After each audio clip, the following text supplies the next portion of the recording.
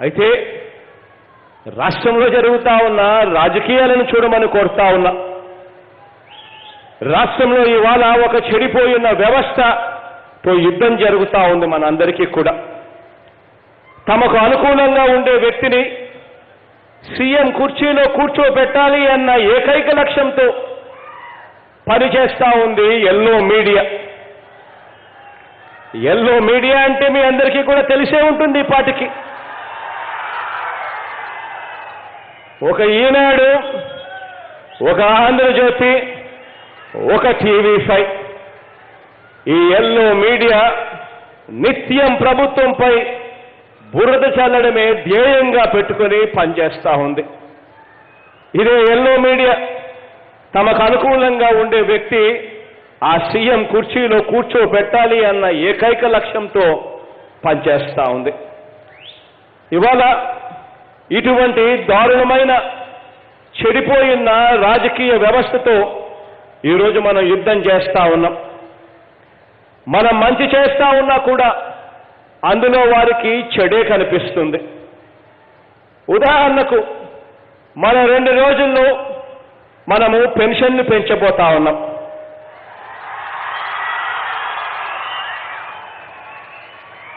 వచ్చే జనవరి ఒకటో తారీఖు నుంచి సామాజిక పెన్షన్లన్నీ కూడా రెండు వేల ఏడు వందల యాభై రూపాయలు ఇవ్వబోతా ఉన్నాము ప్రతి అవ్వ ప్రతి తాత ముఖంలో చిరునవ్వులు చూడడానికి. దీన్ని చూసి కూడా ఓర్వలేనితనం కనిపిస్తా ఉంది. ఈ దుష్ట చతుష్టయం ఈ దుష్ట చతుష్టయం అంటే ఈ పాద మీ అందరికీ కూడా అది అర్థమయ్యే ఉంటుంది. ఈ దుష్ట చతుష్టయం అంటే ఎవరు? ఈ దుష్ట చతుష్టయం అంటే ఈ ఈనాడు ఈ ఆంధ్రజ్యోతి ఈ టీవీ ఫైవ్ ఈ బాబు ఈ దత్తపుత్రుడు.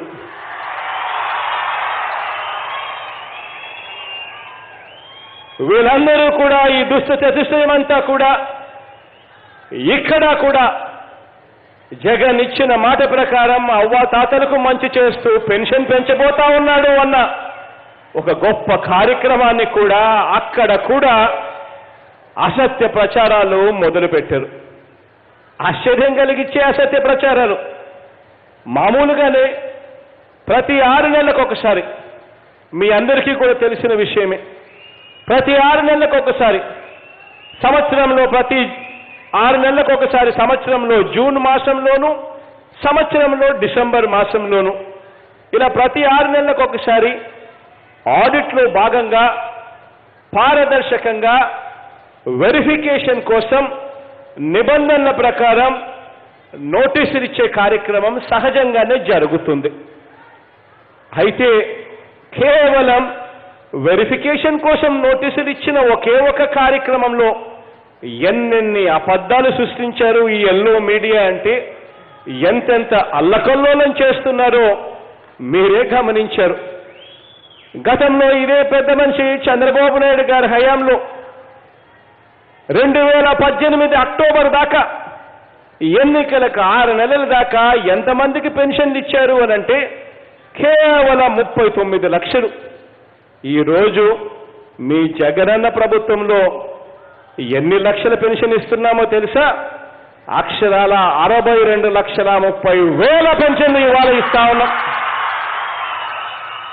మరి ఎక్కడ ముప్పై తొమ్మిది లక్షలు మరి ఎక్కడ ఇవాళ ఇస్తా ఉన్న అరవై రెండు లక్షల ముప్పై వేల పెన్షన్లు ఎక్కడ?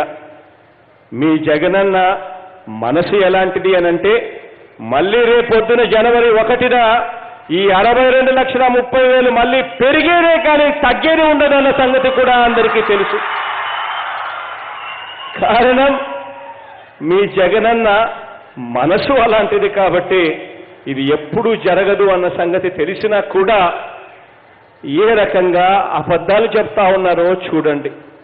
చంద్రబాబు నాయుడు గారు గత ప్రభుత్వ హయాంలో నెలకు పెన్షన్ల బిల్లు కేవలం నాలుగు వందల కోట్ల రూపాయలు అయితే ఈరోజు మన ప్రభుత్వంలో మీ ప్రభుత్వంలో మీ జగనన్న ప్రభుత్వంలో పెన్షన్ల బిల్లు నెలకు ఏకంగా పదిహేడు వందల కోట్ల రూపాయలు పైగానే ఇవాళ జరుగుతా ఉంది.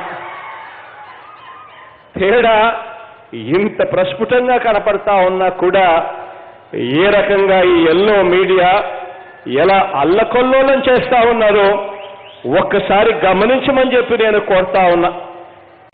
ఇవాళ ఆలోచన చేయమని అడుగుతా ఉన్నా.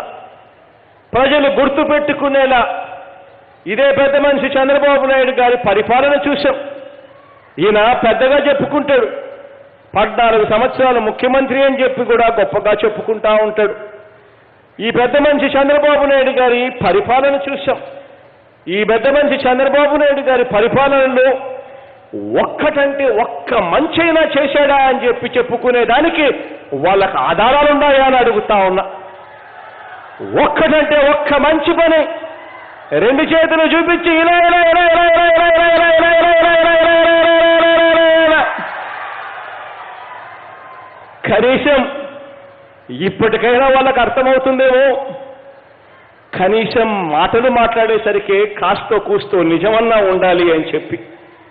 ఇలాంటి దత్త తండ్రిని నెత్తిన పెట్టుకొని ఊరేగుతా ఉన్నాడు మరో దత్తపుత్రుడు.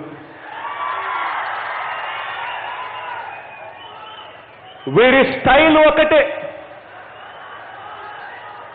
వీరిద్దరి స్టైల్ ఒకటే. ఆ స్టైల్ ఏమిటో తెలుసా? ఈ రాష్ట్రం కాకపోతే ఆ రాష్ట్రం. ఈ ప్రజలు కాకపోతే ఆ ప్రజలు. ఈ పార్టీతో కాకపోతే ఆ పార్టీతో. ఈ భార్య కాకపోతే ఆ భార్యతో.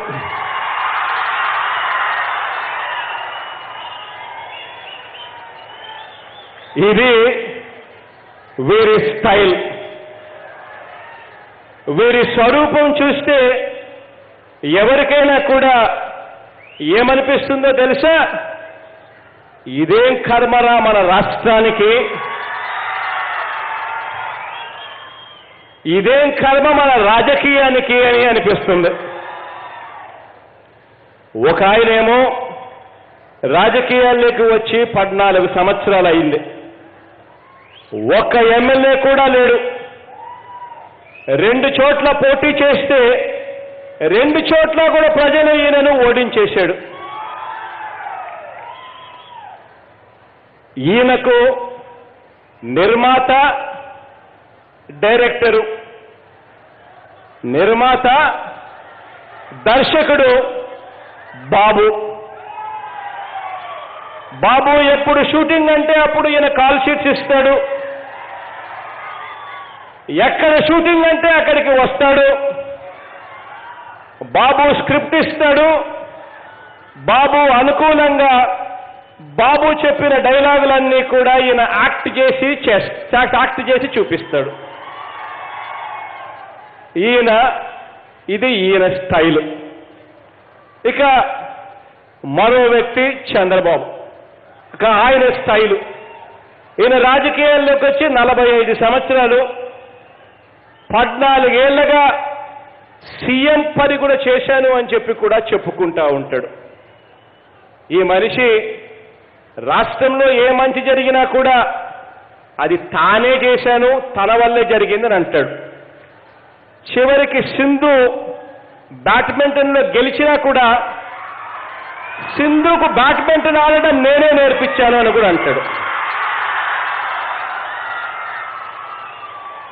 ఈ పెద్ద మనిషి ఇది ఈమె స్టైల్.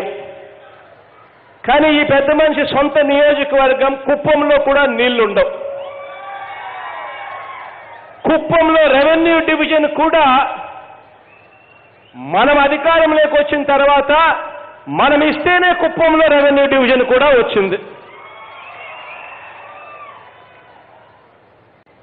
ఈ పెద్ద మనిషి పేరు చెబితే ఒక్కటంటే ఒక్క మంచి స్కీమ్ కూడా గుర్తుకు రాదు. మళ్ళీ పద్నాలుగేళ్ళు ముఖ్యమంత్రిగా ఉన్నాను అని గొప్పలు చెప్పుకుంటాడు. ఈ డెబ్బై ఐదు సంవత్సరాల ఈ డెబ్బై మూడు సంవత్సరాల ముసలాయన్ను చూస్తే గుర్తుకొచ్చేటివి కేవలం రెండే రెండు స్కీములు.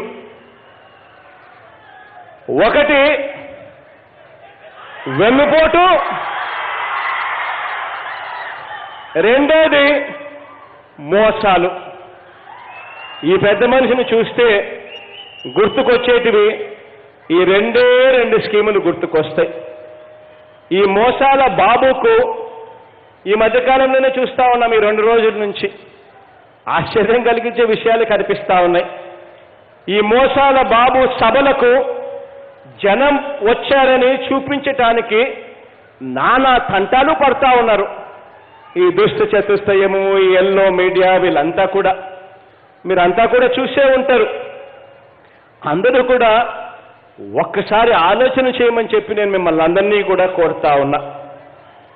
ప్రతి ఒక్క వర్గాన్ని కూడా వంచిన ఈ బాబు సభలకు అసలు జనం ఎందుకు వస్తారు అని ఒక్కసారి ఆలోచన చేయమని కోరుతా ఉన్నా. బాబు బాబు మాకు ఎనభై ఏడు వేల ఆరు వందల పన్నెండు కోట్ల రూపాయల రుణాలు మాఫీ చేస్తానని చెప్పి బ్యాంకుల్లో పెట్టిన బంగారం ఇంటికి రావాలి అని అంటే బాబు ముఖ్యమంత్రి కావాలి అని చెప్పి చివరికి మమ్మల్ని నిండా మోసం చేసినందుకు thank you thank you Babu అని రైతులేమైనా ఆయన సభకు వస్తారా అని అడుగుతా ఉన్నా. ఆలోచన చేయమని అడుగుతా ఉన్నా.